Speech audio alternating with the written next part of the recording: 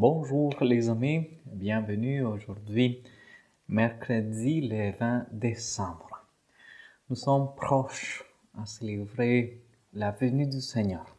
Pour cela, je vous invite à disposer nos cœurs, à acquérir la parole du Seigneur.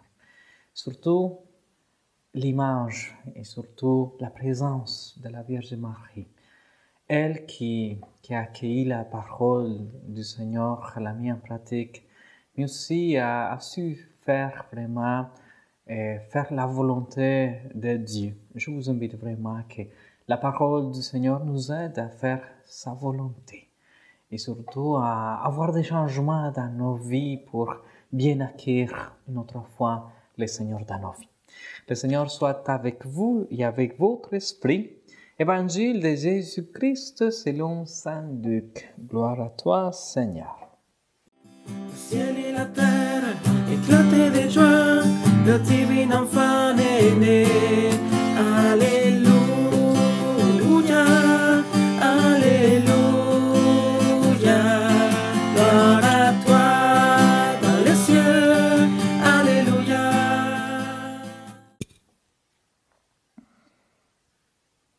Au sixième mois d'Élisabeth, l'ange Gabriel fut envoyé par Dieu dans une ville de Galilée appelée Nazareth, une jeune fille vierge accordée à mariage à un homme de la maison de David appelé Joseph, et le nom de la jeune fille était Marie. L'ange entra chez elle et dit, Je te salue, comblée de grâce, le Seigneur est avec toi. À cette parole, elle fut toute bouleversée et se demandait ce que pouvait signifier cette salutation.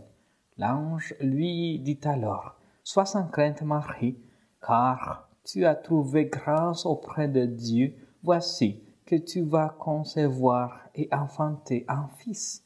Tu lui donneras le nom de Jésus. Il sera grand. Il sera appelé fils du Très-Haut. Le Seigneur Dieu lui donnera le trône de David son père. Il régnera pour toujours sur la maison de Jacob, et son règne n'aura pas de fin. Marie dit à l'ange, Comment cela va-t-il se faire, puisque je ne connais pas d'homme? L'ange lui répondit, L'Esprit Saint viendra sur toi, et la puissance du Très-Haut te prendra sur son ombre. C'est pourquoi celui qui va naître sera saint il sera appelé fils de Dieu. Or, voici que dans sa vieillesse, Élisabeth, ta a conçu elle aussi un fils et en est à son sixième mois, alors qu'on l'appelait la femme stérile, car rien n'est impossible à Dieu. Marie dit alors, Voici la servante du Seigneur, que tout m'advienne selon ta parole. Alors l'ange la quitta. Acclamons la parole de Dieu. Louange à toi, Seigneur Jésus.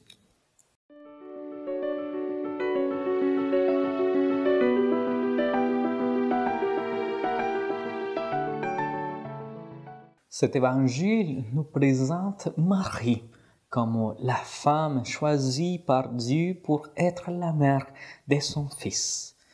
Elle est choisie entre toutes car elle a trouvé grâce auprès de Dieu. Lorsque l'ange fait cette annonce merveilleuse à Marie, elle n'en tire aucun orgueil.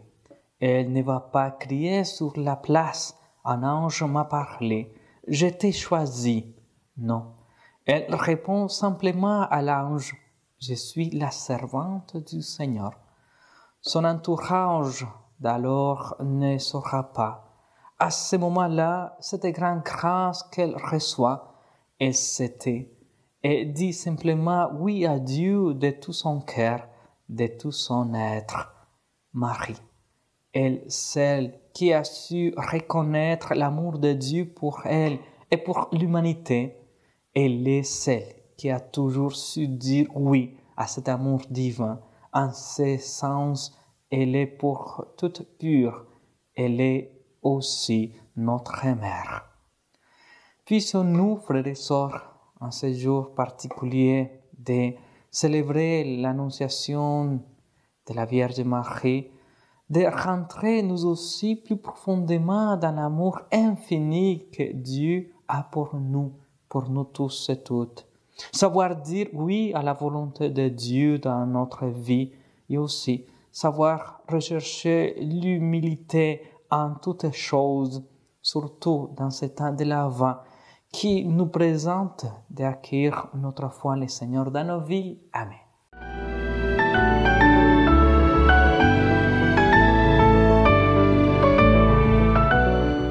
Frères et sœurs, avant de nous séparer, eh, je vous invite à dire Je vous salue Marie.